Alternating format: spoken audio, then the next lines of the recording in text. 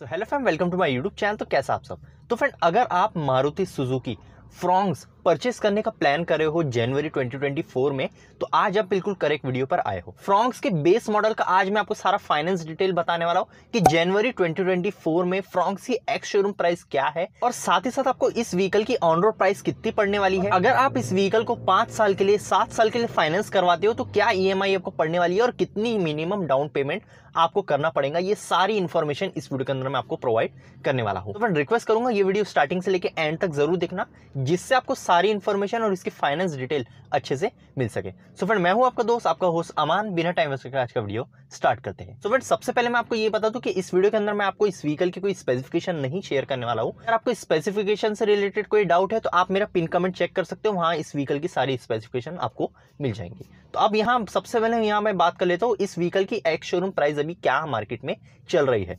तो अगर मैं बात करूँ अभी करंट एक्स शोरूम प्राइस के बारे में तो इसकी जो एक्स शोरूम प्राइस है। सिग्मा मॉडल यानी बेस मॉडल की वो है seven lakh forty six thousand five hundred ये इसके भी एक्स शोरूम प्राइस चल रही है अभी करंट में। इसके बाद यहाँ पे फ्रेंड अगर मैं बात करूँ एक्स्ट्रा जो चार्जेस आपको लगते हैं इसके ऊपर आपके सारा रजिस्ट्रेशन चार्जेस होता है आरटीओ चार्जेस होते हैं। अगर मैं बात करूँ इसके आरटीओ इंश्योरेंस फास्टैग और और भी चार्जेस मिलाकर तो आरटीओ का जो आपको चार्ज लगने वाला है, वो है eighty three thousand seven hundred and fifty seven rupees इसके बाद इंश्योरेंस का चार्ज है forty eight thousand nine hundred rupees के आसपास। ये सारी चीज़ें और इसके बाद कुछ एडिशनल चार्जेस होते हैं। एच एस आर पी का होता है फास्टैग का होता है। और भी दो तीन कुछ एक्स्ट्रा जो आर टी ओ चार्जेस होते हैं, वो सारा हम अगर इंक्लूड करें तो आपकी जो ऑन रोड प्राइस यहाँ पे इस व्हीकल की निकल के आती है, वो आ जाती है eight lakh eighty five thousand one hundred and eighty two rupees ये ऑन रोड प्राइस में आपको नागपुर की बता रहा हूँ। तो कुछ इतनी ऑन रोड प्राइस यहाँ पे निकल के आती है सिग्मा बेस मॉडल की फ्रॉन्क्स के।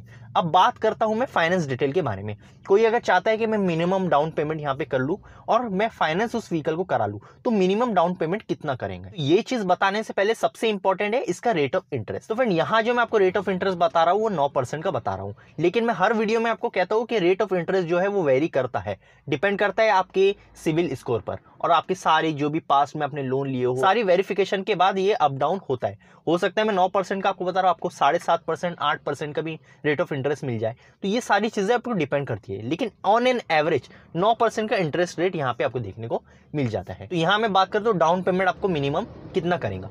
अब ये शोरूम पर भी डिपेंड करता है, ये भी वेरी करता है।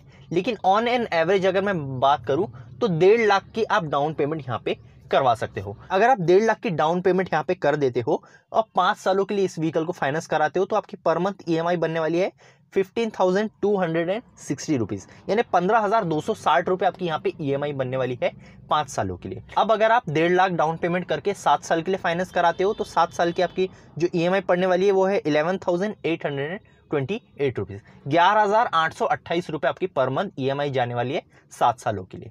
इसके बाद अगर आप चाह रहे हो कि मैं डाउन पेमेंट इंक्रीज कर दूँ डाउन पेमेंट में बढ़ा दूँ जो रिमेनिंग है उसे मैं फाइनेंस करा लूँ। तो सेकंड जो डाउन पेमेंट आ जाती है वो ढाई लाख की यहाँ पे आ जाती है। ढाई लाख की अगर आप डाउन पेमेंट करते हो पाँच साल के लिए फाइनेंस कराते हो तो पर मंथ ईएमआई आपकी बन जाती है thirteen thousand one hundred and eighty five rupees यानी thirteen thousand one hundred and eighty five rupees per month आपको पे करना पड़ेगा पाँच सालों तक।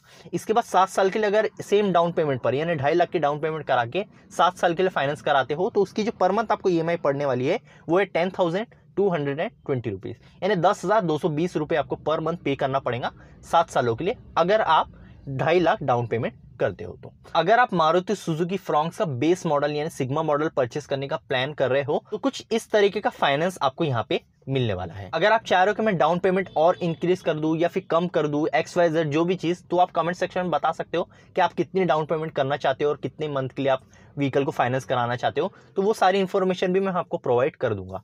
तो अगर इस वीडियो से रिलेटेड आपके कोई डाउट रह जाते हैं या फिर आपकी कोई क्वेश्चन है तो जैसे मैं हर बार कहता हूँ, कमेंट सेक्शन में आप पूछ सकते हो, मैं जल्द से जल्द आपको रिप्लाई देता हूँ। सो फ्रेंड आज के लिए इतना ही मिलता हूँ नेक्स्ट वीडियो में। जब तक के लिए गुड बाय